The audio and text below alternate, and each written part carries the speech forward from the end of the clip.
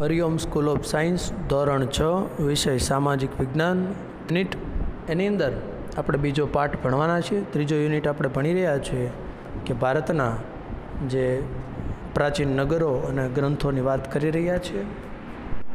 મિત્રો, પ્રિય સભ્યતાનું આર્થિક જીવન, એનું આર્થિક જીવન શું હતું? તો સિંધુ ખંડની સભ્યતાના લોકો, ખેતી, પશુપાલન, વેપાર હુન્નર ઉદ્યોગ જેવા વ્યવ કરતા હતા. ખેતીમાં ઘઉં, જવ, વટાણા, તલ, સરસવ વગેરે પાકોની ખેતી કરતા. ખેતીમાં જમીન ખેડવા માટે હળનો ઉપયોગ કરતા. પશુપાલનની અંદર તેઓ ગાય, ભેંસ, બકરી, ખૂંદવાળો બળદ પાળતા હતા. તેઓ આંતરિક અને આંતરરાષ્ટ્રીય વેપાર કરતા. આંતરિક એટલે એક જ ક્ષેત્રનો, બરાબર? આપણે રાજ્યમાં હોય તો રાજ્ય, દેશ હોય તો દેશની અંદર. અને આંતરરાષ્ટ્રીય એટલે બીજા દેશની વાત છે. તો ત્યાં સુધી તેઓ વેપાર કરતા. અને અહીંનું જે સુતરાવ કાપડ હતું, એ છેક મેસોપોટેમિયા સુધી અને તેના માધ્યમથી ઇજિપ્ત સુધી પહોંચતું હતું. મેસોપોટેમિયા પણ એક સંસ્કૃતિ છે, બહુ જૂની. તો ત્યાં સુધી અને એના માધ્યમથી ઇજિપ્ત સુધી પહોંચતું હતું, એવું ઇતિહાસકારો માને છે. આ ઉપરાંત તેમના અન્ય વ્યવસાયોમાં માટીકામ, ધાતુકામ, મણકા બનાવવાની કળા, શિલ્પકલા વગેરેનો સમાવેશ થતો.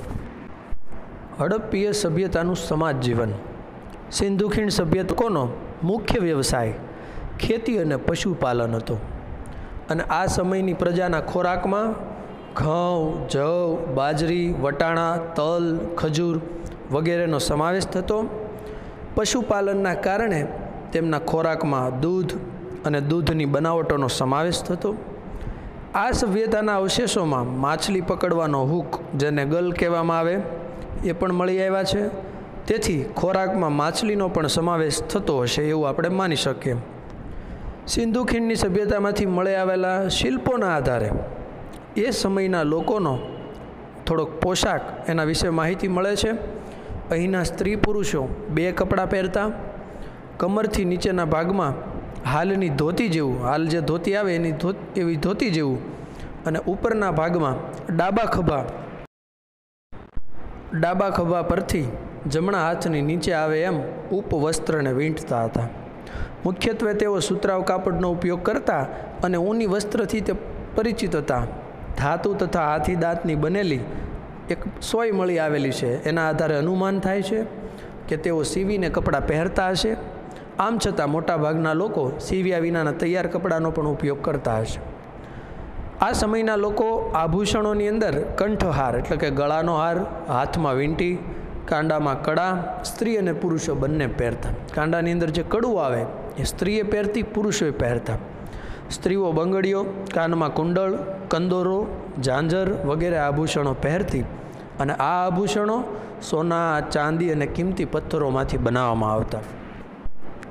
સિંધુ ખીણની સભ્યતાના લોકો માટીના તાંબાના કાંસાના વાસણો બનાવતા, જેમાં માટીમાંથી પ્યાલા, વાટકી, કુલડી, ગાગર, રકાબી, કથરોટ વગેરે વાસણોનો સમાવેશ થાય છે. સિંધુ ખીણ સભ્યતાના લોકો પોતાના બાળકો માટે વિવિધ પ્રકારના રમકડા પણ બનાવ્યા હતા, જેમાં પંખી આકારની સિસોટીઓ, ઘૂઘરા, ગાડા, લખોટી, પશુ, પંખી અને સ્ત્રી પુરુષ આકારના રમકડાઓનો સમાવેશ થાય છે. એક રીતે જોઈએ તો આ પ્રજાની સર્જન શક્તિ અને કલા કારીગીરી એના રમકડાઓમાંથી વ્યક્ત થાય છે. એના રમકડા જોતાં ખ્યાલ આવી જાય કે બહુ કલા આવડતી હશે એને. માથું હલાવતા પ્રાણી અને ઝાડ પર ચડતા વાનરની કરામત દર્શાવતા રમકડા પણ જોવા મળે છે. મિત્રો, ધાર્મિક જીવન અને અંતિમ વિધિ. તો હડપ્પીય સભ્યતાના ધાર્મિક જીવન વિશે આપણને તેની મૂર્તિ અને મુદ્રાઓમાંથી માહિતી મળે છે.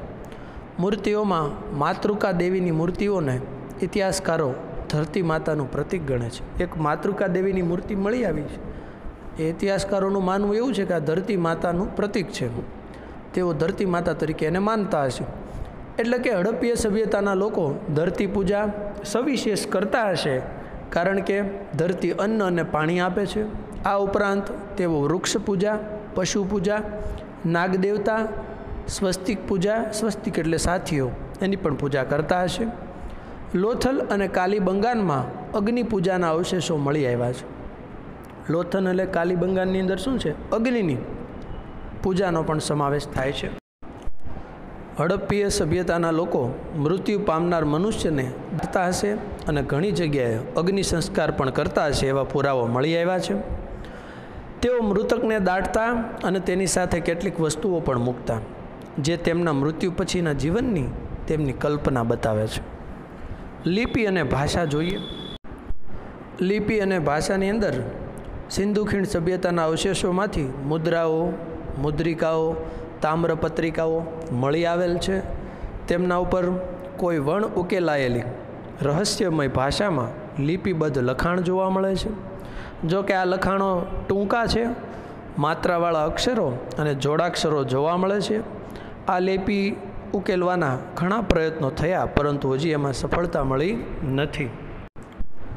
ગુજરાતમાં હડપ્પીય સભ્યતાના સ્થળો, ગુજરાતમાં અમદાવાદ જિલ્લાની અંદર રંગપુર અને લોથલ, રાજકોટ જિલ્લામાં રોજડી જેને શ્રીનાથગઢ પણ કહેવાય, કચ્છ જિલ્લામાં દેશલપર, ધોળાવીરા, સુરકોટડા, જામનગર જિલ્લામાં લાખાબાવળ, આમરા, ભરૂચ જિલ્લામાં કીમ નદીના કિનારે ભાગા તળાવ વગેરે પ્રદેશોમાં હડપ્પીય સભ્યતાની નાની મોટી વસાહતો મળી આવી છે. હડપ્પીય સભ્યતાનો અંત ઇતિહાસકારો, ધરતીકંપ, પૂર, રોગચાળો કે બાહ્ય આક્રમણના કારણે આ સભ્યતાનો અંત આવ્યો હશે તેવું માને છે. જો કે આજે પણ ઇતિહાસકારો આ માટે તેનો અંત સંશોધનનો વિષય કહી રહ્યો છે. એટલે કે હજી પણ એમાં સંશોધન કરવાની જરૂર છે. નગરો વિશે જોયું. હવે આપણા પ્રણ ગ્રંથો વિશે જોઈએ. એમાં ઋગ્વેદ અને તેનું અધ્યયન. વેદ ટોટલ ચાર છે. ઋગ્વેદ, યજુર્વેદ, સામવેદ અને અથર્વવેદ. ઋગ્વેદ એ આપણો પ્રાચીનતમ ગ્રંથ છે, સૌથી જૂનો, જેમાં દસ મંડળોની અંદર એક હજાર અઠ્યાવીસ પ્રાર્થનાઓ છે, જેને સુક્ત કહેવામાં આવે છે. નીચે આટલું જાણો એમાં લખ્યું છે, સૂક્તનો અર્થ છે સારી રીતે કહેવાયેલું. સારી રીતે જે કહેલું હોય એને સુક્ત કહેવાય. તેનો સમાવેશ થાય છે. ઋગ્વેદ એ પ્રાચીન જ્ઞાનનો ભંડાર છે. તે પ્રાચીન સંસ્કૃત કે વૈદિક સંસ્કૃત ભાષામાં લખાયેલ છે. ઋગ્વેદના માધ્યમથી આર્યોના રાજકીય, સામાજિક, આર્થિક અને ધાર્મિક જીવનનો પરિચય મળે છે. ઇતિહાસકારો, પુરાતત્વવિદો ઇતિહાસ જાણવા માટે પ્રાચીન અવશેષોની સાથે ઋગ્વેદનો પણ અભ્યાસ કરે છે. ઋગ્વેદના કેટલાક સૂક્તો સંવાદ રૂપે સ્વરૂપે આપેલા છે. ઋગ્વેદમાં પ્રજાકીય જીવનના ઉલ્લેખો જોવા મળે છે. ગણ, સભા અને સમિતિ જેવી રાજકીય સંસ્થાઓની માહિતી ઋગ્વેદમાં મળે છે. સભા સમિતિની સરખામણીમાં સભા એ સમિતિની સરખામણીમાં નાની સંસ્થા છે. તેમાં રાજ્યના મુખ્ય આગેવાનો બેસતા અને રાજ્યના અગત્યના પ્રશ્નોની ચર્ચા થતી તથા ન્યાય પણ અપાતો હતો. સમિતિ વિસ્તૃત સંસ્થા હતી, જે રાજાની ચૂંટણી કરતી રાજાને મદદ કરવા સેનાધ્યક્ષ અને પુરોહિતની નિમણૂક થતી. રાજા એક કાર્ય ગવેષણા પણ કરતો હતો. રાજાનું એક કાર્ય શું હતું? ગવેષણા. અને ગવેષણા એટલે યુદ્ધ. ઋમાં રાવી નદીના કિનારે દસ રાજાઓ વચ્ચે થયેલા યુદ્ધનો ઉલ્લેખ પણ પ્રાપ્ત થાય છે. ઋગ્વેદમાં આર્યોના સામાજિક જીવન વિશે માહિતી મળે છે. સમાજનું એકમ, કુટુંબ હતું. અને પિતૃપ્રધાન અને સંયુક્ત કુટુંબ વ્યવસ્થાવાળી. એ કુટુંબ વ્યવસ્થા હતી. સમાજ, વર્ણ અને જ્ઞાતિઓમાં વહેંચાયેલ ન હતો. એટલે સમાજમાં સૌ સમાન હતા. કોઈ ઊંચ નીચના ભેદભાવ ન હતા. સ્ત્રીઓનું સમાજમાં ઊંચું સ્થાન તથા સ્ત્રી સ્વાતંત્ર્ય હતું. અને સ્ત્રીઓને સહધર્મચારિણી ગણવામાં આવતી. અને યજ્ઞમાં તેની હાજરી આવશ્યક ગણાતી. યજ્ઞમાં સાથે બેસાડતા તે પણ અભ્યાસ કરી શકતી, અભ્યાસનો પણ હક હતો.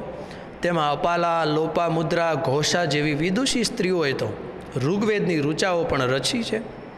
કન્યા પુખ્ત ઉંમરની થાય ત્યારે જ લગ્ન થતા. ઋગ્વેદમાં ઇન્દ્ર, વરુણ, અગ્નિ, સૂર્ય વગેરેના ઉલ્લેખો જોવા મળે છે.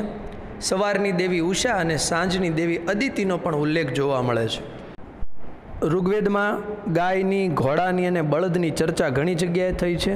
ઋગ્વેદમાં અન્ય પશુઓની સરખામણીમાં ઘોડાનો સૌથી વધારે ઉલ્લેખ જોવા મળે છે, જે તે સમયના તેમના જીવનમાં પશુપાલનનું મહત્ત્વ સૂચવે છે. પશુઓ માટે યુદ્ધ કરવું એ કબીલાઈ જીવન જીવતા લોકો માટે સામાન્ય હતું. સંપત્તિ મુખ્યત્વે પશુઓની સંખ્યા પર આધાર જેની પાસે સૌથી વધારે પશુઓ એ વધારે સંપત્તિવાન.